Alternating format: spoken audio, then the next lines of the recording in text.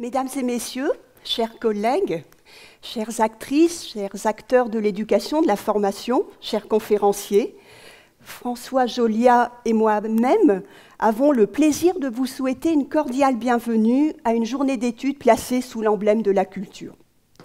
Nos remerciements aux institutions qui ont rendu possible cette journée, cette rencontre, la HEP Béjune et son département de la recherche, dirigé par Francesco Arsidi Qui nous a laissé carte blanche pour l'organisation, trois associations scientifiques, AIRDF, Association internationale pour la recherche en didactique du français, la SSRRE, Société suisse pour la recherche en éducation, et le 2CR2D, le Centre de compétences roman de didactique disciplinaire, qui, toutes trois, ont contribué par leur subside à la venue de sept conférenciers français, belges et suisses. Que ces conférenciers, que cette conférencière soient remerciés de leur disponibilité, de leur engagement, en une période parfois un peu compliquée au niveau des transports, notamment sur l'Hexagone la communauté des savoirs de l'arc jurassien, franco-helvétique, en la personne de Vincent Lacan de Besançon, se charge de filmer l'intégralité des contributions de cette journée. Alors, quelle est l'origine de cette journée? Quelle est sa genèse? D'abord, une rencontre entre deux formateurs exerçant dans des institutions de formation des enseignants depuis bientôt 30 ans respectivement 30 ans pour chacun de ces deux formateurs. Il se trouve que ces deux formateurs sont aussi des chercheurs, respectivement en didactique de la musique pour François Jolia et en didactique du français, notamment de la littérature en ce qui me concerne. C'est donc une rencontre roborative, une rencontre féconde sur des questions vives qui sont au centre, nous semble-t-il, de la formation des enseignants et ne peuvent être éludés dans un contexte de formation à l'enseignement quelque peu uniformisé, globalisé depuis la déclaration de Bologne et l'introduction du LMD. Notre postulat, M. Zuber nous l'a rappelé à l'instant, la formation culturelle n'est pas un luxe qui passe après les apprentissages fondamentaux. Elle en fait vraiment partie intégrante et elle constitue une priorité de l'enseignement du citoyen de demain. Nous englobons l'artistique dans le culturel.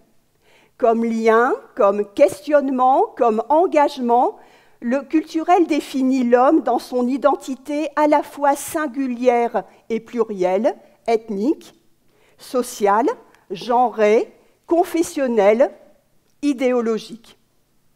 Si l'identité professionnelle de l'enseignant est souvent interrogée en termes de recomposition, l'identité culturelle, faite de dissonance au sens de l'homme pluriel de Bernard, de Lahire, est très très importante pour comprendre l'enseignant en formation, peu ou prou formaté par des référentiels de compétences.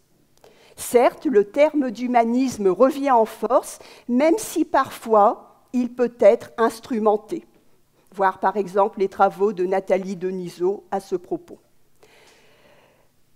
L'école ne détient pas le monopole de la formation et de la socialisation culturelle. Elle la partage avec la famille, avec les cercles amicaux et d'autres. Pourtant, l'école reste un creuset un espace de rencontre de différentes formes de pratiques culturelles. Nous choisissons une conception de la culture qui soit non pas un objet à acquérir, mais le fait d'un sujet qui l'a construit, parfois à son insu, et se l'approprie. Ainsi, les pratiques culturelles du sujet deviennent-elles consubstantielles à sa construction identitaire, faite de singularité, d'identification successive et de partage. Tout au long de cette journée, pour nourrir et éclairer le débat, vont se succéder des conférenciers d'horizons divers, qui ont tous en commun, à travers des champs de recherche diversifiés mais congruents, de s'intéresser aux questions d'éducation, de formation des enseignants et à différentes formes et pratiques culturelles comme celle de la musique, de la littérature et des arts. Enseigner tout savoir comme culture. Nombreux sont ceux qui se souviennent du titre de la conférence que Philippe Mérieux a prononcée à la HEP sur le site biennois en janvier 2016.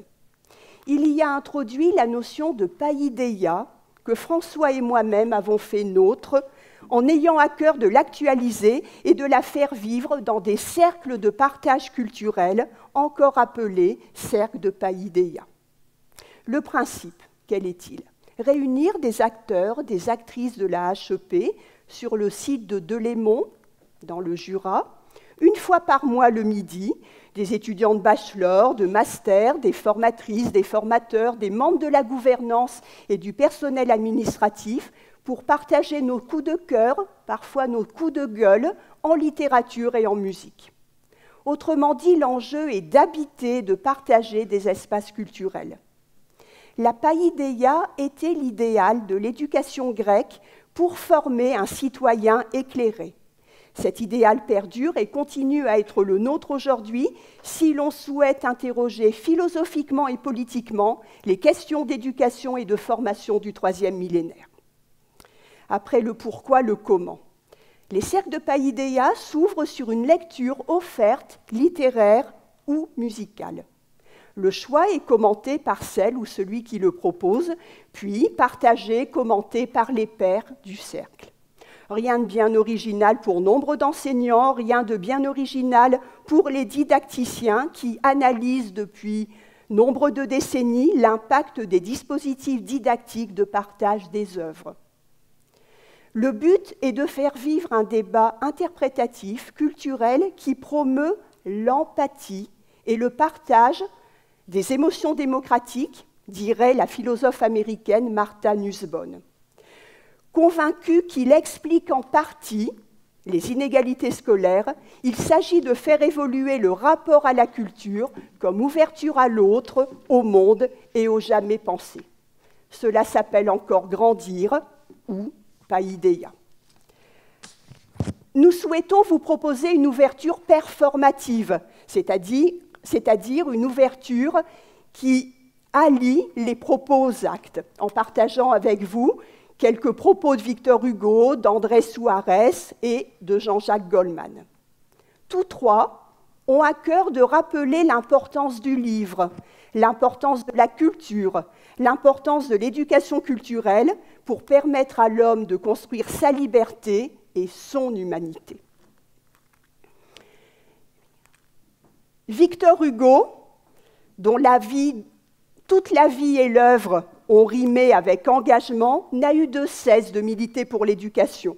Il n'a eu de cesse de promouvoir une culture ouverte à tous, une culture véritablement démocratique. Chacun d'entre nous a en mémoire le vers liminaire du célèbre poème écrit après la visite d'un bagne en 1853 sur l'île de Jersey. Chaque enfant qu'on enseigne est un homme qu'on gagne magnifique définition de l'humanisme. Et quelques vers glanés plus loin, tout homme, ouvrant un livre, y trouve une aile et peut planer là-haut où l'âme en liberté se meut. L'école est sanctuaire autant que la chapelle. L'alphabet que l'enfant avec son doigt épelle contient sous chaque lettre une vertu, le cœur s'éclaire doucement à cette humble lueur. Donc, au petit enfant, donnez le petit livre, marchez la lampe en main pour qu'il puisse vous suivre. La nuit produit l'erreur et l'erreur l'attentat. Faute d'enseignement, on jette dans l'état des hommes animaux, têtes inachevées, tristes instincts qui vont les prunelles crever, aveugles effrayants au regard sépulcral qui marchent à tâtons dans le monde moral. Vingt ans plus tard, dans L'année qui est terrible, écrit en 1872, Victor Hugo réitère la question à qui la faute Tu viens d'incendier la bibliothèque? Oui, j'ai mis le feu là. Mais c'est un, crime inouï, crime commis par toi contre toi-même, infâme. Le poème se termine sur la déploration de la destruction de la bibliothèque, dont la faute n'incombe plus à l'incendiaire, mais à celui qui n'a pas donné accès à la culture.